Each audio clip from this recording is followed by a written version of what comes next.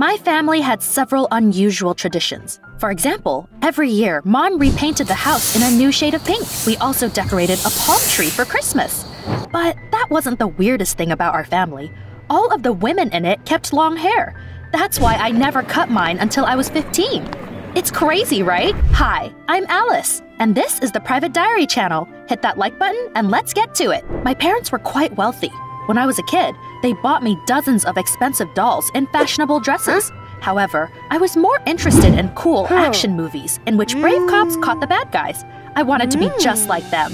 Mr. Dinosaur, you are under arrest and have the right to remain silent. I'm the law here. It horrified my mom. After all, she was very feminine. I suspected that she didn't take off heels even in the shower. I'd also never seen her without makeup. Alice, what are you doing? Playing a cop? I want to be a sheriff. Don't even think about it, honey. That's not an appropriate career for a woman. She was convinced that as a girl, I had to look good to find a rich husband and never work. She basically wanted me to be her copy. That's why she taught me ways to look good ever since I was a kid. I didn't like it, but I didn't have much choice because mom was bossy and always made dad take her side. I want to eat this yogurt, not make a hair mask out of it. Don't be silly. You need to look pretty if you want boys to like you. Your dad fell in love with me because of my gorgeous hair. Isn't that right, dear? Well, looks aren't the only thing that matters. What was that? Um, I meant to say, listen to your mother, Alice. See what I mean? Dad never stood up to her. I dressed like Barbie and acted like a lady when they could see me. However, I secretly kept watching action movies and dreaming of being a cop. Tremble in fears, scoundrels. There's a new sheriff in town. What are you doing? Um, putting on makeup. That's my girl. It got worse as I grew older. The long hair made my life difficult. It looked amazing, of Wow. course, and everyone admired it. I would give anything to have such gorgeous hair. You have no idea how hard it is to take care of this mane, though. I wasn't exaggerating. I had to get up a couple of hours earlier than I would have otherwise to wash, dry, and style my unruly hair. Sometimes it got so tangled, I had to ask the maids to help me comb it. Raise your hands if you ever got caught in the rain. The humid air was my biggest enemy because it made my hair look like a bird's nest. I wanted to cut it. However, I couldn't do that because of my mom. My parents hardly ever let me go anywhere alone. But sometimes I would sneak out and explore other neighborhoods to cheer up. One day, I got on the first bus I saw and drove to a beautiful park. I got off the bus and felt my heart skip a beat. There was a gorgeous guy running around the park. I couldn't take my eyes off him. It was like the stranger moved in slow motion, and the sweat stains on his clothes shimmered beautifully in the sun. Um, I'm not good at romantic stuff.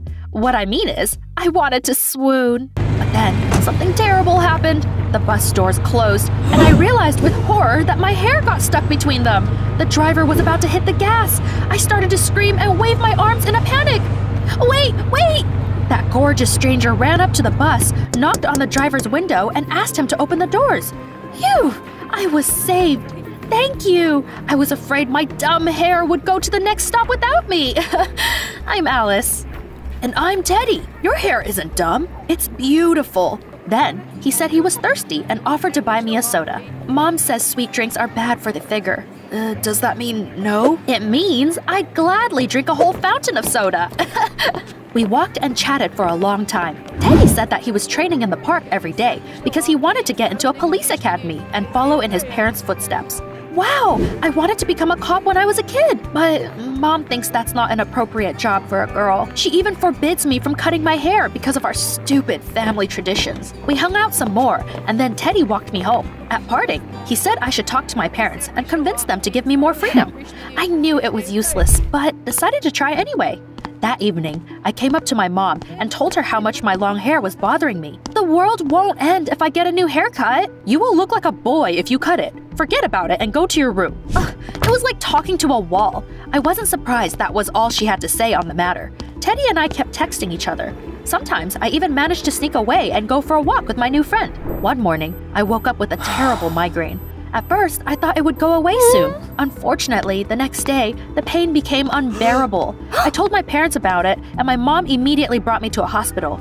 They examined me and ran some tests, but couldn't figure out what was wrong with me. Hmm. Still, I wasn't getting better. We kept going to different doctors. However, none of them managed to diagnose me. I couldn't bear the pain any longer. Mom found the best doctor in town and brought me to her. I see. Alice, wait in the hallway while I talk to your mom. I shrugged and left. Was I finally going to get help? A minute later, I heard my mom yelling furiously at Dr. Miller. What? You're a charlatan! I've never ever heard anything so stupid in my life! With those words, she stormed out of the office like an angry bull and told me we were leaving. Oh, wait, what did she say to you? Nothing. Forget it. We'll go to another clinic. I won't rest until you get a normal diagnosis. Hmm, she was obviously hiding something. But to be honest, I was getting sick of all the hospitals, so I asked for a break. Luckily, the painkillers helped a little. That evening, Teddy asked me how I was feeling. Let's go cycling! I'm sure the fresh air will do you good. What a great idea! We agreed to meet in the park, and the next day, I sneaked out and headed there. I was riding my bike and looking forward to hanging out with Teddy. My hair was flying in the breeze. Then, my phone vibrated in my pocket. Without stopping, I took it out and read the text from Teddy. Sorry, Alice. Mom had to leave for a work emergency. I need to look after my little brother, so I won't be able to come. Damn it, what a shame. But that wasn't the worst thing that happened to me that day. I was distracted by the phone and didn't see my brake get loose. It got tangled in the bicycle chain and I fell over. Ouch, what a grand fiasco. I tried to pull my hair out, to no avail. There was no one around to help me. My migraine was getting worse again. Tears stung my eyes. I was so sick of it all. It was time for desperate measures. I had a travel bag with some tools with me. I pulled a pair of scissors out of it and mercilessly cut off my hair. It was only after a few minutes that I realized what I had done. Mom will have a heart attack when she sees me. Well, there was no way back. I came home and told my parents about what had happened. I almost went deaf while mom shouted at me. She said I was a disgrace to our family, the first girl to break our tradition, and that no one would love me now. She kept going, and it seemed she would never run out of steam. You will stay in your room until your hair grows back. I forbid you from going anywhere but school. Is that clear? Why are you so obsessed with my hair? Dad, come on, this is ridiculous. Mom glared at my dad, and he mumbled that I shouldn't argue. I was about to go bonkers. I thought I would be stuck at home, feeling sick. But guess what? The next day, I felt much better. Great, even. Living with short hair was so much easier. My head felt light like a balloon. I didn't even care that mom was glaring at me like I was a traitor. And by the way, she was wrong when she said no one would like me if I had short hair. I sent a selfie to Teddy, and he loved my new look. I didn't think you could get any more beautiful. One day, I stopped by an ice cream shop on the way home from school. While I was standing in line, someone stepped on my foot. Oh, excuse me. Oh, you're Alice. I'm Dr. Miller, remember? Right. How's it going, Doc? She looked at me in amazement and then asked me if my strict mother had let me cut my hair after all. Now, hold on a minute. What? Didn't she tell you? It turned out that Dr. Miller had realized that my migraines were caused by my heavy hair. She told Mom I should cut it. Instead of thanking her, Mom lost her temper and called the doctor a charlatan. So that's what it was all about. That pissed me off. I couldn't just let that slide, so I came home and confronted my mom. You knew I was in pain, but you let me suffer because your traditions were more important to you than my health. You're too young to understand how important this is for your future. We spent a long time shouting at each other. Each of us hoped Dad would take our side, but he tiptoed out of the room so we wouldn't drag him into our fight. I'm invisible. I'm invisible. That's when I realized that I didn't have to always listen to my mom. I decided to follow my dreams instead, so I ran to my room and called Teddy. I need a favor. Name it, I'll do my best. I told him about the way mom treated me and that I wanted to follow my dreams. And then I asked him to train me a little so that I could get into the police academy too. My friend happily agreed. After that, I threw all my old clothes out of the wardrobe. Goodbye, uncomfortable heels. Long live cozy sneakers. Mom was shocked by my new look. She said I looked like a boy. I finally felt comfortable in my own skin, though. Teddy and I met every day after school. We trained together, and my friend showed me all sorts of self defense techniques his parents had taught him. It helped us grow even closer. Since I was on a roll, I took a risk and asked him out. I've been meaning to tell you I like you for a while now. Things were going so well, but one day, Mom said that I was completely out of control, and she knew how to fix it. You left me no choice, Alice. I'm sending you to a girls' boarding school. You're finally going to learn how to be a real lady. Now get in the car. Our plane is taking off soon. It was nuts! She didn't even let me say goodbye to my friends. I only had the time to text Teddy that I was going to the airport. Mom immediately snatched the phone out of my hands. Gadgets are forbidden in your new school.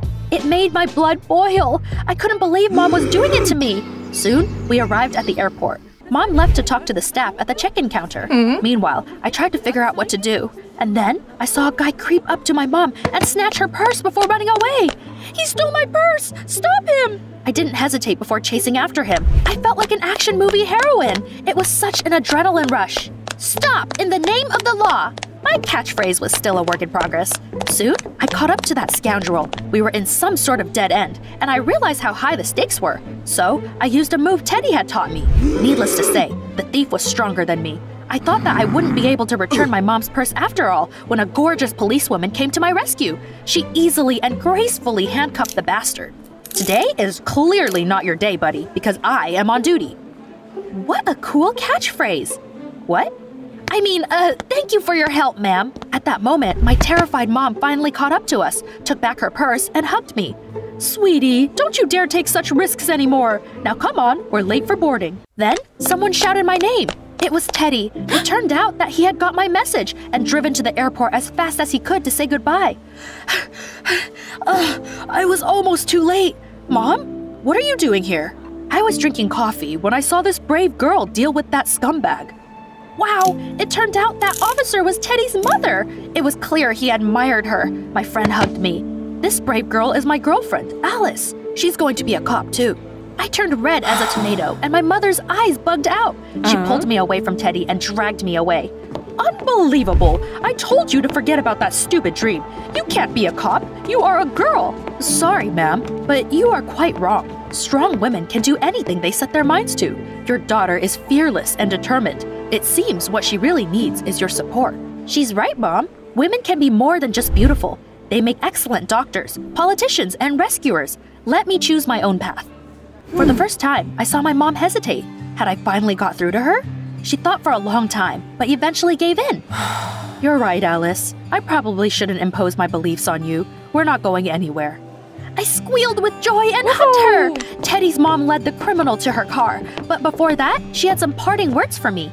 Alice, you were very brave today, but you shouldn't do that again. Don't put yourself in danger until you learn how to deal with the criminals. I promise, ma'am. As you see, things took a wild turn. I'm still dating Teddy, and we are getting ready for the police academy.